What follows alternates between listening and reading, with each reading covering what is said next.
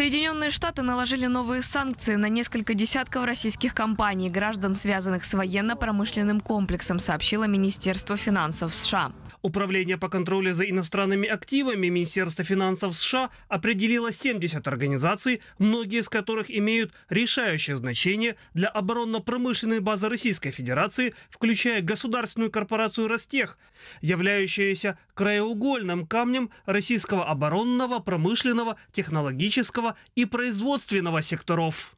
В состав военного гиганта Ростех входит более 800 предприятий и учреждений разных отраслей. Среди них, к примеру, объединена авиастроительная корпорация, производящая военные самолеты марок Су, МиГ, Ил.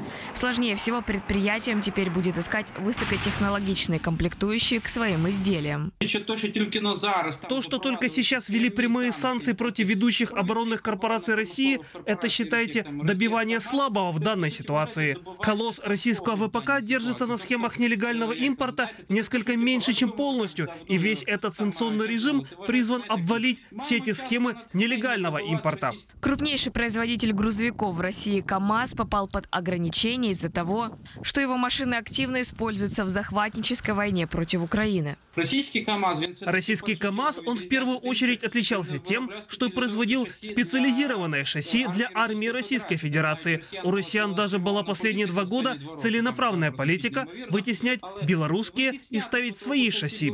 Санкции на российские компании и граждан наложила Государственный департамент США. В списке 45 организаций 29 физических лиц, достоверно причастных к нарушениям прав человека или международного гуманитарного права в Украине. Санкции вводятся также против организаций, участвующих в войне. Среди них Союз добровольцев Донбасса, частные военные компании. Также президент США Джо Байден и другие лидеры Большой Семерки на саммите согласовали введение эмбарго на российское золото.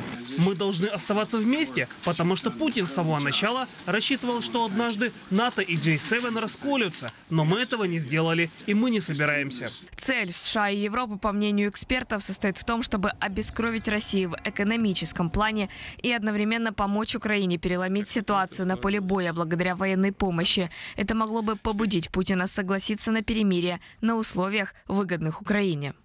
Мы договорились о том, чтобы дать украинцам необходимую стратегическую выносливость, сдвинуть чашу весов, попытаться изменить динамику позиции. Это то, что должно произойти. Это то, что президент Зеленский хочет, чтобы мы ему дали. Страны G7 в совместном заявлении после встречи заверили, что будут поддерживать Украину в финансовом, гуманитарном, военном и дипломатическом плане столько, сколько необходимо. Ирина Полотай, Андрей Гетьман. Специально для марафона Freedom на канале ЮА.